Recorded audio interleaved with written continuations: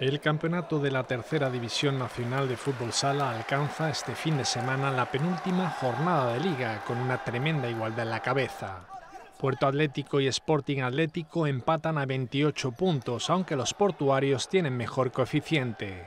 Tercero es Puerta Califal con 24. Sporting Atlético y Puerta Califal medirán fuerzas en el partido más interesante de la jornada decimotercera. En las filas del conjunto califal milita el pichichi de la competición Yunes Cayuch, con 33 goles. En la parte media-baja de la tabla se verán las caras Volaites de Ceuta y Ceuta Dos Mares. Bahía de Ceuta, cuarto clasificado con 19 puntos, se enfrentará al penúltimo clasificado, el Ángulo, con solo 4 puntos.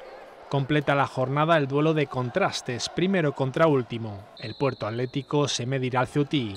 Los portuarios han ganado sus ocho últimos partidos y los unionistas no saben aún lo que es puntuar. El campeón de la Liga de Ceuta de Fútbol Sala de Tercera División se enfrentará al campeón de la Liga de Melilla. El ganador de la eliminatoria logrará el ascenso a Segunda División B.